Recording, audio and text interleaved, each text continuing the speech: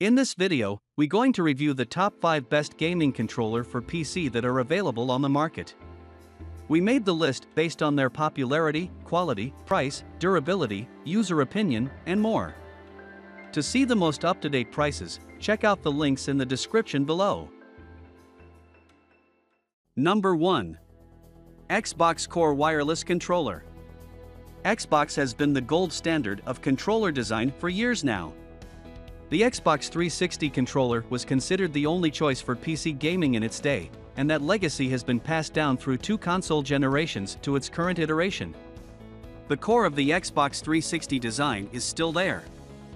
But it has been refined and tweaked into the best controller readily available on the market today. The modern Xbox wireless controller is light, durable, and well made, being ergonomic and with grips built into the design. The controller can be connected wirelessly via Bluetooth or with a USB wireless adapter. Number 2. PowerA Spectra Infinity Enhanced Wired Controller. Is the PowerA Spectra an Xbox controller in all ways but the name? Pretty much.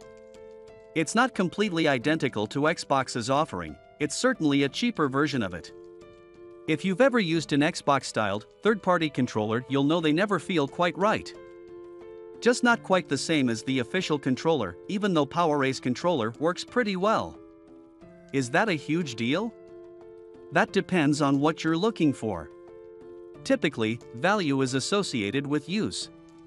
The reason we recommend the more expensive Xbox controller as the best overall is that for extended use, it's great value for money. Number 3. Xbox Elite Wireless Controller Series 2. The Xbox Elite Series 2 is the gold standard of controllers. But like gold, it doesn't come cheap.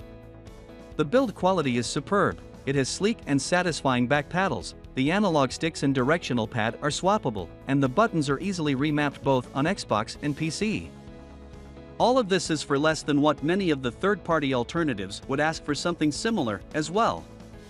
The original Elite controller was also great, apart from an issue where the grips started to peel off after extended use. Thankfully, this revised version has the grips integrated into the body so that peeling should no longer be a problem. Number 4. Razer Wolverine Ultimate. There are plenty of reasons to prefer to keep your controllers wired. Even though wireless has become the standard with consoles, running a wireless controller on a PC can be a hassle.